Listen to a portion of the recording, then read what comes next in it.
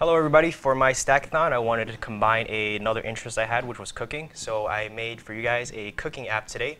Uh, you know, when you're cooking you don't want to ruin your beautiful cookbook or your laptop, so why not have it be read to you? Uh, so that's the idea, the premise of my app called What's Next.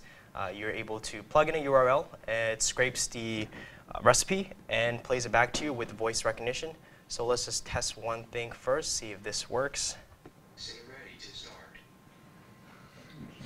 Ready. Oh, and then you cut, cut, cut, slice and dice, you know, do your, do your thing. Boil and toil.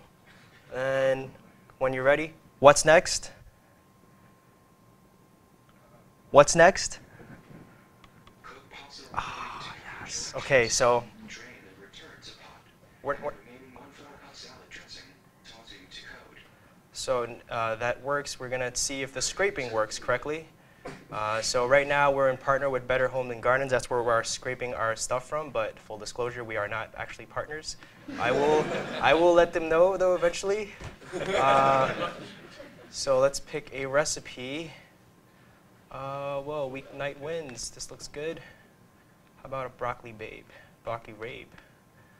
Okay, so we have the URL, and then we'll just go plug it in here, submit. And it's scra it's not scraped. It is scraped. Haha. now let's see if it works. Ready.